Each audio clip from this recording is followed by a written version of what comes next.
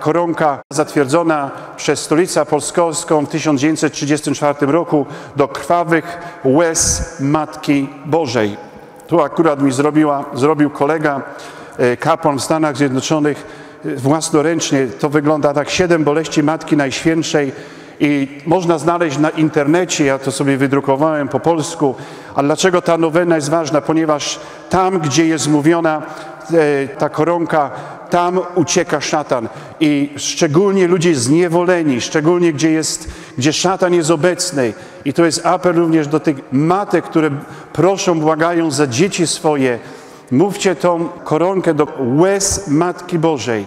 Wasze łzy z jej, łza, z jej łza, z łzami, jak sobie poczytacie na internecie, Maryja obiecała, żeby, że będzie zanosić te modlitwy y, za pośrednictwem jej łez do jej Syna i Jezus obiecał, że te modlitwy zostaną wysłuchane szczególnie przeciwko opętanym, zniewolonym ludziom, tym, którzy mają problemy i ci, którzy mają problemy w rodzinach. Dlatego polecam koronkę do krwawych łez Matki Bożej. Ja sam uczę się jej odmawiać, dlatego mam tą ściągę, nie znam na pamięć całkowicie, ale rzeczywiście jest to niesamowita modlitwa i bardzo, i bardzo mocna.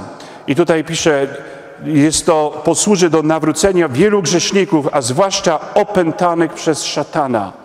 Także to jest, niewiele jest takich bezpośrednich modlitw, a przecież chyba każda matka wie, że łzy syna, czy łzy córki, czy łzy kogokolwiek, no kruszą wszystko, prawda? Jeżeli ktoś zapłacze, to nie ma, nie ma takiej chyba modlitwy, takiej prośby, która nie będzie wysłuchana. Dlatego polecam tą modlitwę pompejańską, koronkę i koronkę do łez Matki Bożej jako wybłaganie, jako pomoc. Pamiętam to jak dzisiaj. To było lato, wieczór. Zadzwonił do mnie taki mój zaprzyjaźniony ksiądz Jacek, który mm, też modli się w takich modlitwach wstawienniczych o uwolnienie. Zadzwonił do mnie i mówi: Olu, proszę cię, modl się za mnie, bo źle się czuję.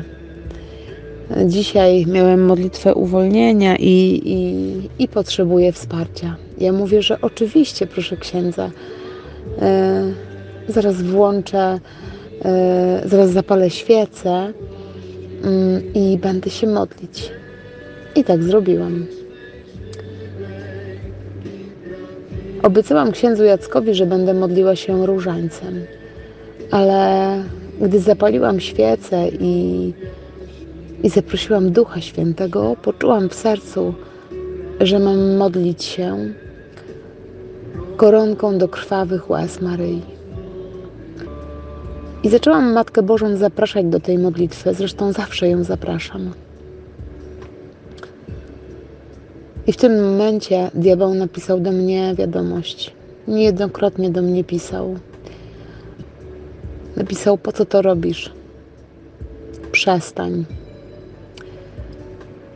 I ja wtedy pamiętam, dostałam jeszcze większą taką chęć modlitwy. Gdy skończyłam tą koronkę, do, do Matki Bożej mm, przez jej krwawe łzy, chciałam do księdza Jacka zadzwonić, ale nagle włączył się mój telefon.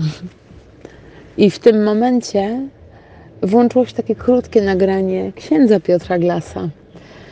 E, jeśli masz jakiekolwiek problemy duchowe związane z kimkolwiek, czy z Twoją rodziną, czy z dziećmi, Koronka do krwawych łez Maryi jest idealną modlitwą.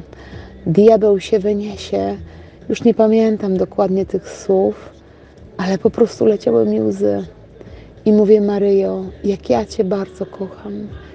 Jak Ty bardzo wypraszasz łaski, aby umocnić mnie nędzną i słabą. I to było dla mnie takie bardzo mocne doświadczenie.